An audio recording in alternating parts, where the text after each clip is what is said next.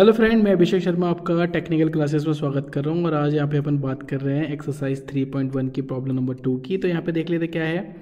तो सबसे पहली चीज़ है अ copper bar show in figure 3.13 subjected to an ten side load 30 kilo newton तो यहाँ पे आपकी जो पूरी बार दे रखी है, उसके ऊपर एक कॉन्स्टेंट लोड लगा हुआ है, वो थर्टी किलो न्यूटन है।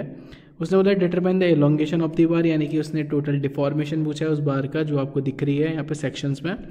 उसके बाद उसने बोला है कि इसका यंग्स मॉडुलस आपका हंड्रेड गीगा पास्कल है और यहाँ पे आपको कुछ वैल्यूज़ दे रखी है। तो यहाँ पे अपन को इसको सॉल्व करना है। तो सॉल्व करने के लिए सिंपल है, डायरेक्ट क्वेश्चन दे रखा है। तो अपन यहाँ पे इसका डायरेक्ट फॉर्मूला ही लगाते हैं जिससे कि आपको जल्दी समझ में आ जाए। तो क्या है, देख लीजिए deformation is equal deformation first वाले पार्ट के लिए डिफॉर्मेशन सेकंड वाले पार्ट के लिए डिफॉर्मेशन थर्ड वाले पार्ट के लिए। इसको आप फ़र्स्ट मान लीजिए, इसको आप सेकंड मान लीजिए, इसको आप थर्ड मान लीजिए। तो क्या होगा आपका P L over A E for first के लिए सेम फॉर सेकंड के लिए सेम फॉर थर्ड के लिए. पी आपका कांस्टेंट है ई e आपका कांस्टेंट है तो मैंने वो बाहर ले लिया.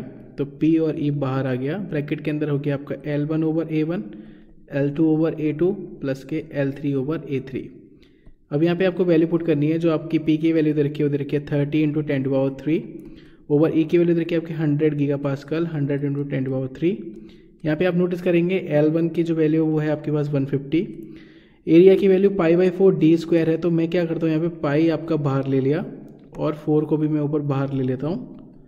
तो यहाँ पे सिर्फ़ आपका डी स्क्वायर बचेगा, जो बचेगा आपका 24 का स्क्वायर लेंथ हो गई आपकी 200 आपका डी की वैल्यू 20 दे रखी तो टू ट्वेंटी का स्क्वायर हो जाएगा. यहाँ पे आपकी लेंथ है 150 और यहाँ पे जो डी की वैल्यू वो 35 का स्क्वायर हो जाएगा. सिंपल तो अब इसको मुझे सॉल्व करना है तो वन बाई वन में यहाँ पे आपके सामने सॉल्व करूँगा। तो देख लीजिए, पहले मैं इस ब्रैकेट को सॉल्व कर रहा हूँ आपके सामने।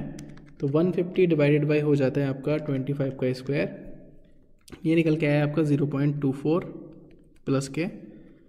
200 डिवाइडेड बाई जो सिंपल है ट्वेंटी का स्क्वायर तो ये निकल के आया मेरे पास पॉइंट फाइव इसके बाद मेरा 150 डिवाइडेड बाई 35 का स्क्वायर तो ये हो गया मेरा zero point one two two.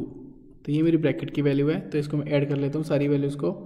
Point five, plus point two four और प्लस आंसर।